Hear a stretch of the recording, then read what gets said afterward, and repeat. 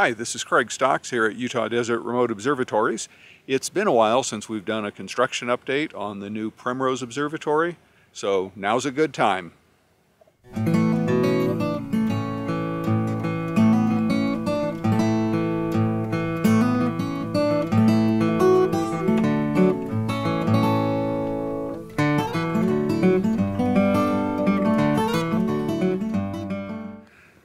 So it's now early September and construction is basically done on the observatory. All the, both roofs are opening, the internet is working. Uh, we even have one customer telescope inside. So let's go over and take a tour. This is the view inside the observatory.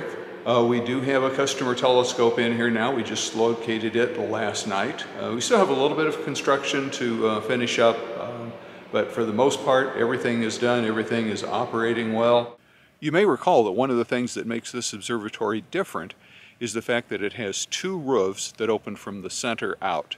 So the advantage to that for our customers is that means that the buildings open actually beyond fully open.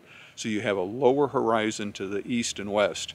And of course with the uh, flat valley that we're in here in uh, southwest Utah, you have you know, almost down to zero degrees north and south. So very low horizons all around. So that's what it looks like in early September 2023 here at Utah Desert Remote Observatories.